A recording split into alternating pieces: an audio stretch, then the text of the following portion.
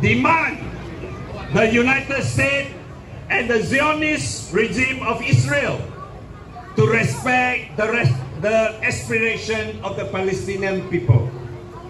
Hereby, we call for immediate and permanent ceasefire in the entire land of Palestine and the inhumane system of apartheid in the all occupied territory of Palestine.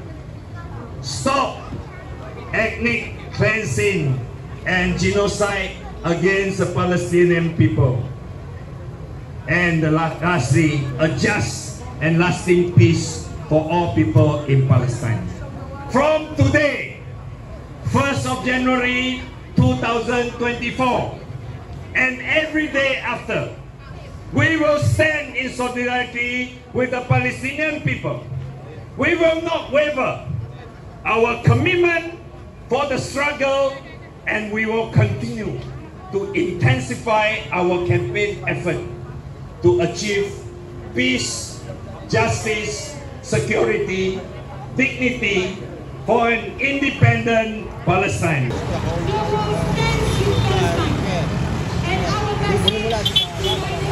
Our message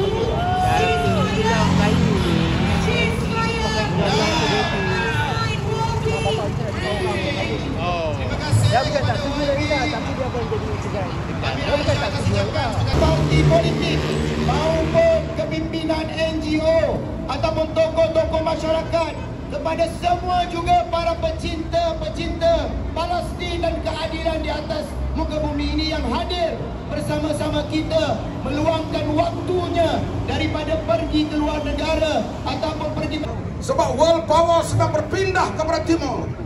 Bukan lagi barat. Bukan lagi Amerika pada masa akan datang. Rakyat dunia akan membaca sejarah pada masa akan datang. Di akhir kuasa besar Amerika, mereka menyokong sebuah pengganas negara pengganas. Palestine! Palestine! Palestine!